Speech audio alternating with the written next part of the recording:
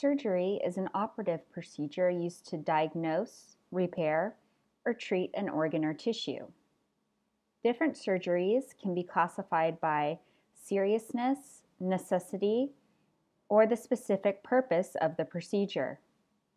So there's many types of sur surgeries. Um, and in this lecture, we will only be talking about the general principles for nutrition therapy after surgery. So we mentioned a few times before that we can consider all surgeries as trauma because it hurts at least one type of tissue or organ in the system, uh, sometimes usually multiple organs. The difference between surgery and a real life trauma is that at least in surgery, the operation is done in a controlled environment with medical professionals. We can consider surgery a type of controlled trauma with the purpose of saving a life or curing a disease. But we also must understand that the nature of surgery causes damage to the body as well. Obviously, when the body sustains a certain type of trauma, there will be nutrition implications, especially when patients who undergo surgeries are already malnourished or if they happen to be obese it's easiest it's easy for us to understand why a malnourished patient go, undergoing surgery will have high risk for complications. But why do obese patients have a high risk when they receive surgeries? Well, obesity is also a systemic problem. It affects the function of the whole body, multiple organs and systems. One of the reasons why people with high BMI or a lot of body fat may have increased risk for a post op complication is that we know the adipose tissue is mainly for storage of actual energy. Compared to lean mass, for example, skeletal muscle, the adipose tissue does not have a whole lot of blood supply. So, if we can imagine a patient with a very high BMI and high percentage of body fat, um, and they're having a surgical incision, then inevitably a thick layer of the adipose tissue will need to be cut open. So, in this tissue, without the blood supply, um, without the blood vessels that supply oxygen and nutrients, it would be very difficult for the patient to heal. So, this is something that's commonly observed for patients who have a high percentage body fat post op. Also, depending on the type of surgery, a lot of them will have more severe impacts on the normal nutrition processes. For example, if someone has colon surgery, then for quite some time the patient will not have a functional gut. If the patient had a surgery with, you know, a certain portion of the small bowel removed, they may end up with short bowel syndrome. So, all of these can severely affect the normal nutrition processes and making recovery, either in the short or long term, more challenging. Other patients who may have increased risk of surgical complications are those who have who before surgery already have changes in weight, albumin level, and CRP level. So we know CRP is an inflammation marker. Therefore, when COP when CRP goes up, that means the patient already has systemic in, inflammation going on. And we know from when we studied malnutrition, loss of body weight already puts a patient at high risk for malnutrition. Again, if they already qualify for malnutrition before the surgery, then their risk for surgical complications will be significantly increased. Age and other comorbidities may also play a role in nutrition implications by surgery. Depending on the type of procedure we're talking about, many patients uh, may have different clinical manifestations. As far as nutrition is concerned, usually before surgery, especially if it's not planned, uh, or excuse me, especially if it is planned, if it's not a trauma emergency surgery, then patients will be put on NPO for 12 hours at least before surgery. And this is actually maybe changing a little bit in some facilities, and we'll discuss that at the end of the lecture. Uh, many of the patients will receive an NG tube before surgery, and this can uh, serve more than one purpose. For example, NG tubes can be used for suction purposes. That way, if during the surgery, if there's GI distension, then we can apply suction to get the air out of the gut, making the surgery a little easier. Also, we know NG tubes can serve as a route to deliver enteral nutrition. So this tube does have one more than one purpose. The patient under anesthesia may have more complications caused by the medication. They may have a post-op ileus, and we know that this is when the intestines do not have a lot of motility. So this is a common side effect of the anesthesia medication. Depending on the patient and the medication, as well as the doses, they may have different recovery times. It's also very common for clinicians to check if the patient has bowel sounds. So this would be a good sign for the GI or intestine function. Also, we always want to monitor post-op if the patient reports gas because um, positive bowel sounds and positive gas production is a sign that GI function has recovered. So this would be a good time to resume PO intake, then gradually advance diet, the diet is tolerated.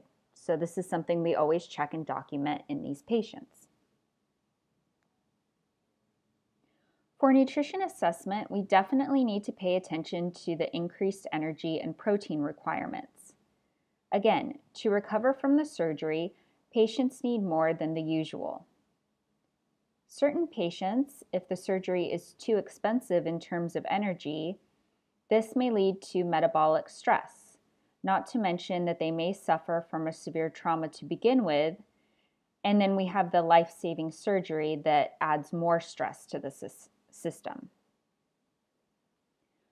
When that happens, we definitely need to remember the increased energy needs and increased protein needs, along with other micronutrients. Some commonly used nutrition problems for nutrition diagnosis include increased energy expenditure, inadequate beverage intake, increasing nutrient needs, altered GI function, and impaired nutrient utilization. So all of these should be pretty straightforward. Again, depending on the type of surgery we're talking about. Is it a skin cancer surgery, versus a GI surgery or is it brain surgery? So we'll be, be able to better select the nutrition program nutrition problem when we know exactly what surgery we're talking about. In general, the energy requirements would be about 25 to 35 calories per kilogram per day. Protein requirement is much higher. It is 1.2 to 1.5 grams per kilogram of ideal body weight. So for this condition, we want to be using ideal body weight. As a patient's GI function recovers, we want to advance the diet and we will need to have an individualized progression plan. Current evidence actually supports the practice of progressing patients from nothing by mouth to solid foods as quickly as possible because they will have a better result in recovery and less complications. Therefore, again, we need to assess the patient frequently and see if we can resume a PO diet. And then also see how quickly we can advance it from, you know, if the surgeon starts them out on clear liquids uh, to normal solid food. So this will need to be individualized on a case by case, disease by by disease basis. And just to quickly go over some of the guidelines that are posted um, by ASPEN and the Society of Critical Care Medicine for the nutrition support therapy in the critically ill patient. So, this was that document that came out in the beginning of 2016. Um, they have a whole section. Section O is on post operative major surgeries. And so, just to bring up a couple of points, um, they do suggest that EN be provided when feasible in the postoperative period within 24 hours of surgery. Um, unfortunately, the quality of evidence is very low, but based on the evidence that we do have, um, it does suggest that we do early initiation of enteral nutrition within 24 hours post op. Another one is based on expert consensus and these are for patients who have undergone major upper GI surgery where we cannot use enteral nutrition. So um, they're telling us that PN should be initiated only if the duration of PN is anticipated to be over a week. So, unless the patient is at high nutrition risk, PN should be delay- delayed for five to seven days. And then Again, we're going to initiate it only if we think that the patient's going to need it for over a week or at least seven days. And then the last one here, based on expert consensus, advancing uh, when we're advancing the diet postoperatively, patients should be allowed solid food as tolerated. And a big one here is that clear liquids are not required as the first meal. Um, standard practice in most uh, US hospitals right now is that the first meal after surgery that patients get are clear liquids. However, these guidelines that came out last year um, kind of go against that, and, and you know, there's been evidence supporting that clear liquids are not necessary as the first meal. And I've seen in some facilities they're really trying to change that. They're um, coming up with post op diets that um, have more protein, involve more solid foods. So things that are still easy to tolerate, um, but not necessarily just clear liquids. So this is something you may see when you're going through um, your rotation, your clinical rotations. Another thing I wanted to take a moment to discuss, um, I don't believe this is in the book, but I wanted to talk to you guys about ERAS or Enhanced Recovery After Surgery. And the definition of ERAS is that it's a multimodal perioperative care pathway designed to achieve early recovery for patients undergoing major surgery.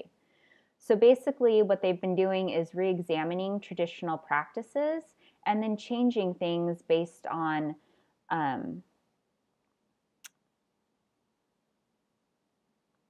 based, based on evidence supported practices. So um, maybe changing things up from how we've done things traditionally. And uh, it also is comprehensive in that it covers all areas of the patient's journey through the surgical process. So they do see a reduction in care time by uh, over 30% in some cases, and reductions in complications by up to 50%. So these things allow for the patient to be better cared. It also um, leads to decreased costs, which facilities, um, you know, healthcare is expensive, so that's really something important too. And the patients aren't in the hospital as long, which is great for them. Um, the Abbott Nutrition Health Institute, um, which is at anhi.org, uh, they have a bunch of training modules, uh, continuing learning, continuing education things. And there is a really great video on there about ERAS. It's called GI Surgeries How Costly Are They, and What Can We Do to Improve Clinical and Economic Outcomes? And it's given by uh, Julie Thacker. She's a doctor at Duke University Medical Center, and they've been implementing ERAS and have had some great success with it. Um, so, in order to see the video, you do have to sign up for um, the Abbott Nutrition Health Institute. It's free to do, And then, you know, when you become a dietitian, they do have ways that you can earn continuing education units on here too. So um, if this is something you're, you're want to look into, then um, I would highly recommend this video. Uh, so just kind of looking exactly what ERAS is. So we see it divided here into pre-op interventions, operative interventions, and post-op interventions. So like I said, we're following the patient's journey throughout um, before, during, and after surgery. And just some things to note. Um, you know, ensuring good nutritional status. So we're going to be doing a full nutrition assessment before the surgery to see how they're doing. Um, if we can improve their physical fitness before they go into surgery, that can we can see better recovery results with that. Um, making sure the patient's educated so they know what's going to happen before, during, and after the surgery helps them know what to expect. Um, and a big thing here for nutrition we see minimal starvation, oral carbohydrate drink, and no mechanical bowel preparation. So, for a lot of surgeries, um, they'll have to drink certain um, bowel prep solutions that basically are a laxative to clear out their bowels. So, they're saying that that may not be necessary. And also, we mentioned that it is common practice for um, patients to be NPO before surgery. Um, you know, going NPO at midnight or 12 hours before the surgery. And what ERAS they've seen using this is actually they've been giving them an oral carbohydrate drink. So this way they're not going into the surgery with low nutrient stores because remember we're causing some trauma, some stress to them through the surgery. So having them go in with their nutrient stores full um, would be beneficial. So there are some oral carbohydrate drinks that are beginning to be marketed uh, for this by various companies. Um, and then we see here, these aren't necessarily related to nutrition in the operative interventions, but you know, looking at doing certain things for the anesthesia, um, minimizing the operation time and minimal access surgery, so not cutting um, big holes, doing the laparoscopic things can be good. And then again, post intervention, we see nutrition coming up again. So we want to make sure that the patients aren't feeling nauseous and vomiting. We also want to try and remove all of the um, drains and tubes as early as possible because remember, having in, any sort of catheters or anything like that are going to increase the patient's risk for infection since they're exposed to the external environment. Also, we do see here consistent with the um, ASPEN and SCCM recommendations, the start of early enteral nutrition, and then um, in early enforced ambul- ambulation. So, meaning that they get the patients up and walking around after the surgery as soon as possible instead of having them stay in bed, which was more of a traditional practice. And then, of course, doing follow ups is very important as well, seeing how they're doing and helping them manage um, any issues that the patient may be having. So, this is kind of general looking at it. Um, there's specific protocols depending on the surgery. And you know, this is something that's kind of new to the US. They've been practicing it in Europe for quite some time now, and we do see its way making, uh, do see it making its way in the United States now. So, um, if this is something that you mentioned to your clinical nutrition preceptor, they'd probably be pretty impressed because it's not so widespread in the US quite yet. And um, there are some more references posted on Beachboard regarding this, so I do recommend that you take a chance, take a minute to look at those.